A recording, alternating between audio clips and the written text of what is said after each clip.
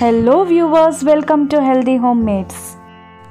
Today's recipe is Krishna Janmashtami special Murukku or Chakli which is prepared instantly. Let us check out the ingredients for the Murukku.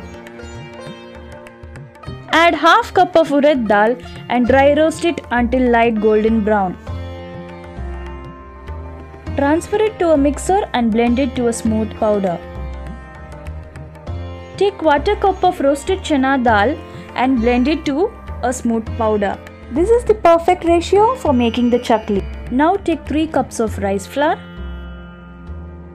and add the blended urad dal and roasted chana dal mixture. Mix well and the murukku mix is ready. Add 5 cups of water. Ratio of water should be double, less one that of the rice flour.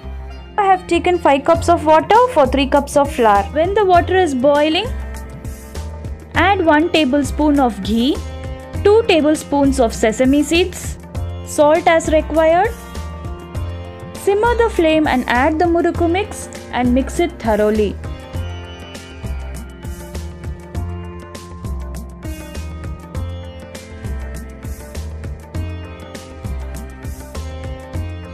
Close the lid and rest the dough for 10 to 15 minutes.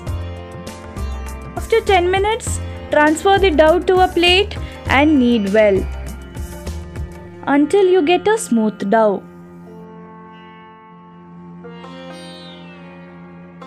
Take a murukku press like this.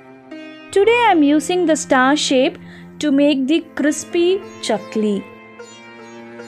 Fill it with dough and close the murukku press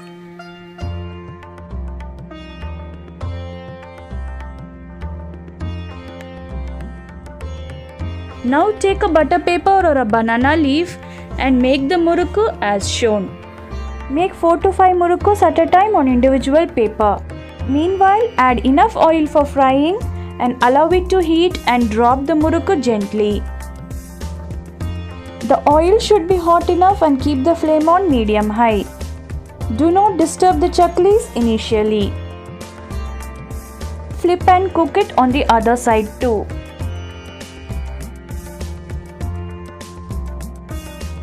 Once the bubbles comes down, it is cooked. Remove from the oil and drain it and serve. Janmashtami special murukku is ready. For more such recipes, subscribe to Healthy Homemades. Thank you.